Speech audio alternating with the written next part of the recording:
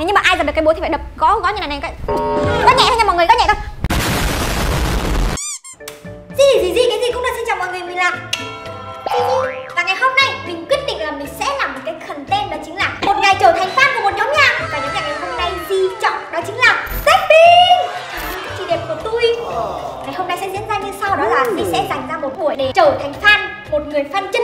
chị. Thực ra thì đó giờ Di rất là hâm mộ Blackpink rồi Nhưng mà Di chưa có thời gian để mà Di tìm hiểu sâu hơn về nhóm. Thì ngày hôm nay Di sẽ tìm hiểu tất tần tật mọi thứ về nhóm. Sau đó là Di sẽ đấu với một fan chân chính của Blackpink Đó chính là Yến Nhi TV Trước khi mà mình đi tìm hiểu thì mình nên uh, tân trang lại nhan sắc một chút đúng không? Chứ mình có thấy được một cái hình của chị uh, Lisa Tóc đen với cả tóc nâu. Trời ơi, nhìn xinh dã man luôn Sau khi mình cũng muốn nhuộm theo. Đó là một cái hình mẫu lý tưởng của mình. Cho nên là nếu như này có cái gì sai sót thì cũng mong các link và cũng như là các fan bỏ qua cho bọn mình nha Và giữa màu nâu với màu đen thì mình nên chọn cái nào ta?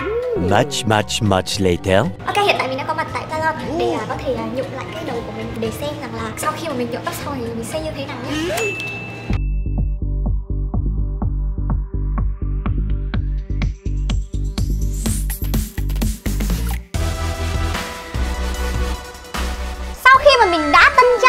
Và tân trang cái tóc của mình về xong thì bây giờ mình sẽ phải ngồi vào và mình cùng tìm hiểu về Blackpink thôi. Và mình nghĩ rằng là mình phải chiến thắng được Yến Nhi mọi người ạ. Ui, Mình không thể nào mà mình thua Yến Nhi được.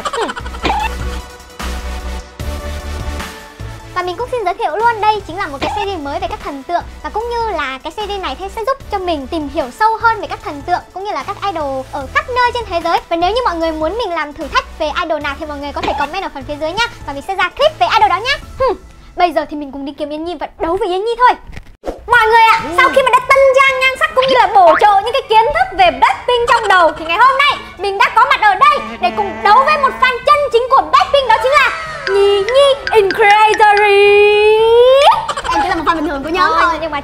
em tìm hiểu rất là nhiều về Blackpink. Nhi, ngày hôm nay em có tự tin là sẽ chiến thắng chị không? Thôi nhìn mặt kiểu gượng gượng như này rất tự tin rồi Thì luật chơi đó chính là bây giờ mình và Yến Nhi sẽ tranh nhau cái búa này Để xem ai sẽ là người trả lời trước. Nếu như mà ai giật được cái búa thì phải đập gõ gõ như này này cái Gõ nhẹ thôi nha mọi người, gõ nhẹ thôi.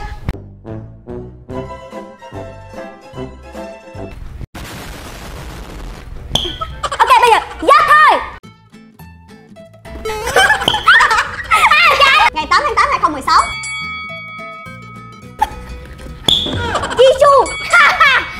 thường thôi.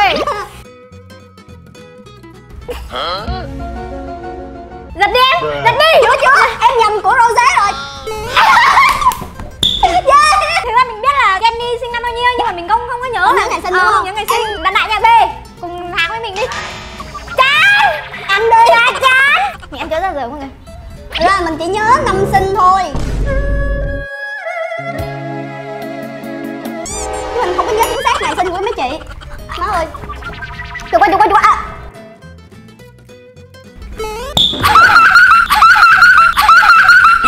cái này chị biết này chị biết này à Lisa. Trời ơi cũng thường thôi. Cũng thường thôi mà. À, à, à, anh làm so hot à,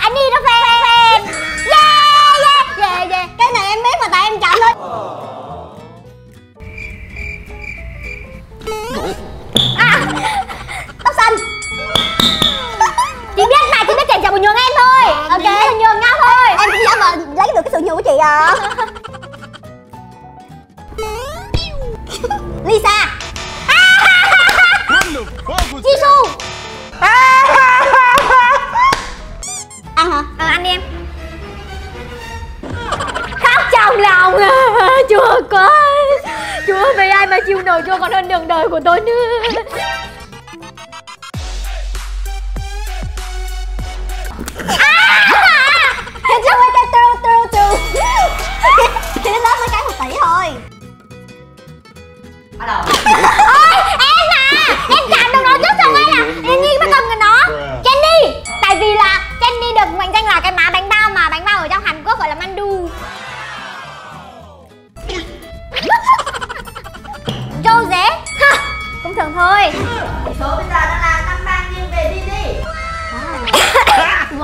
giờ vậy? Năm ba rồi nha.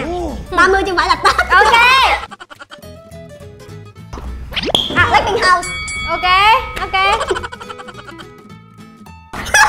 À, gì? Đúng là 30 chứ không phải là Tết Trả lời đại đi Market. Đây! Đây gọi là gì mọi người biết không? Đây gọi là linh cảm đến idol Nghĩa là chị và idol có duyên em. What the fuck? sao vậy? Đập trước là mình trả lời sai. À Nhi nhắc mình là A. Trời Nani? Cảm ơn em một fan chân chính. Tôi không quan trọng thắng thua. Quan trọng là gì? Tình chị em á hai mv du du du một tỷ ba view. Và Kill This Love vừa cán một tỷ view. Wow! Chính xác đây là một fan cuồng chân chính của Blackpink Chị chưa thích màu hồng What the chi chi chứ không phải chi chi. Chị chưa thích gì gì ạ? Chị cầm cho thôi. Màu tím đúng rồi, nãy chị nhớ, nãy chị nhớ là chị có đọc được đến màu tím rồi Nhưng mà chị không biết là trong show V-Live đó là Jisoo bảo thích màu gì. Ok, màu tím. Màu tím. Ừ, Cũng được thôi. Mình là support đối thủ mình rồi